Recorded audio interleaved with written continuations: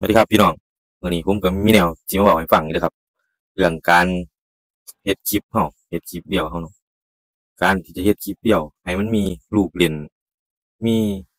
ความน่าสนใจมีการตื่นตาตื่นใจในคลิปของเฮาลักๆเลยโดยพื้นฐานนะครับ ถ้าจะเฮ็ดกันอีหลีนั่นก็มันก็มีอยู่ มันก็ต้องมีแนวซอยนะครับ อย่างเช่นพวกแอปตัดต่อวิดีโอ แอปสีขาวตัดต่อวิดีโอนะครับลองไปหัดใส่ในขั้นพื้นฐานให้มันเป็นครับในการตัดต่อวิดีโอของเฮาพอเฮาหัดเฮ็ดไปสักพัก มันก็จะได้เพิ่มลูกเล่นเพิ่มเอฟเฟกต์ยังเข้าไปต่าง ๆ ครับ มันก็เฮ็ดให้คลิปของเฮานี่มันมันน่าสนใจขึ้นนะครับพี่น้องแล้วก็นอกจากแอปสีขาวที่เฮาเอาไว้ใช้ตัดต่อวิดีโอนี่เป็นเป็นพื้นฐานแล้ว ผมก็อยากแนะนำอีกจักอย่างคือไมค์เด้อครับไมค์ ไมค์นี่สิเฮ็ดให้เฮาเสียงชัดขึ้นพอเฮาเว้าอยู่ไกลๆกล้องมันก็สิเฮ็ดให้ได้ยินนะครับ ถ้าเฮาบ่ใส่ไมค์เข้ามาไมค์ไวเลสเข้ามาเป็นตัวช่วยนี่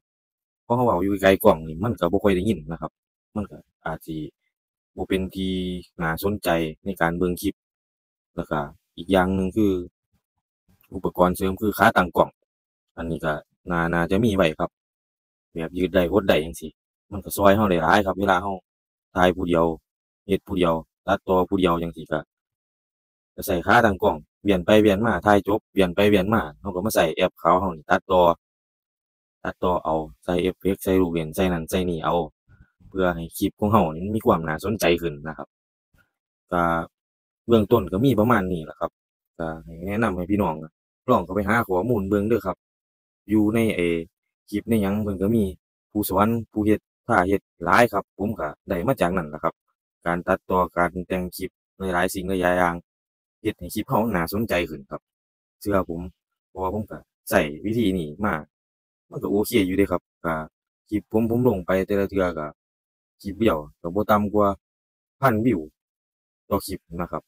ผมว่าตัวนี้ก็เป็นปัจจัยหนึ่งที่มันสิเฮ็ดให้เรามียอดวิวครับ อันนี้ก็เกี่ยวครับก็ลองไปหัดเฮ็ดเบิ่งครับ อย่างขี้ร้ายก็ให้มันได้ใช้แอปสีขาว แอปตัดต่อวิดีโอสีขาวเป็นพื้นฐานให้มันมีพื้นฐานในการตัดต่อ มันก็คือมันโอเคแหละครับ อย่าไปเอาดิบๆเรียวๆบางเทือเราอาจสิมีหลุดมียังนำนะครับก็ลองเอาไปใส่เบิ่งเด้อครับ อันนี้ผมก็มาเว้าสู่ฟัง มีเทคนิคดีๆเล็กๆน้อยๆเรื่องแอปตัดต่อคลิปตัดต่อวิดีโอถ้าไผบ่เข้าใจจังใดก็จังค่อยมาสอบถามกันได้ครับหรือว่าซั่นก็ค้นหาในในอินเทอร์เน็ตเฮานะครับเพิ่นมีหลายอาจารย์ที่เพิ่นสอนดีๆจริงๆ หลายครับผมก็มีแนวมาแนะนำประมาณนี้แหละครับผมสวัสดีครับ